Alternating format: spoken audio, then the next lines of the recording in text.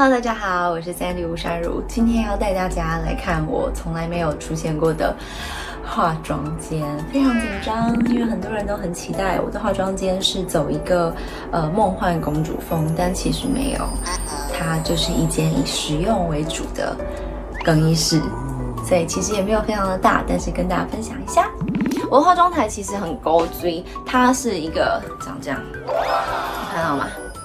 一个很工整方方的黑色配金色的化妆台。我在拍广告的时候呢，突然看到旁边有这张桌子，然后我就想说，奇怪，这张桌子为什么就孤零零的一个人摆在那里？然后他们就说，哦，因为上一个厂商没有要使用了，好像就是 Chanel。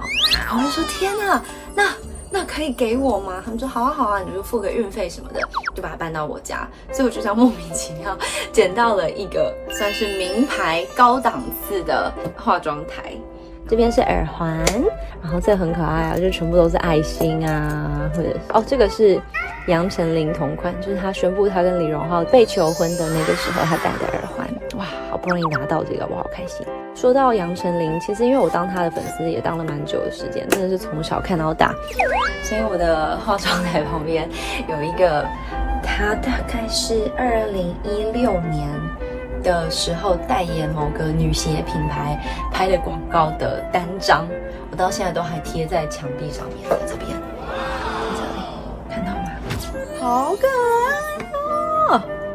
那个时候她真的是万千少女心目中的。超级偶像，她怎么打扮，我们知道怎么打扮。然后她穿什么衣服，剪什么发型，买什么包包，我们全部都要跟着她。所以其实对我来说，真的是一个很好的回忆。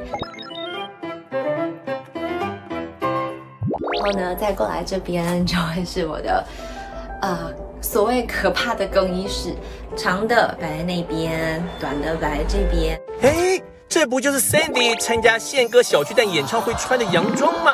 看来被放在了衣橱的 C 位呢。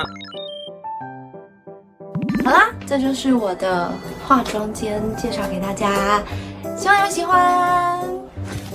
花花万物，常年陪伴，每周二在优酷不见不散。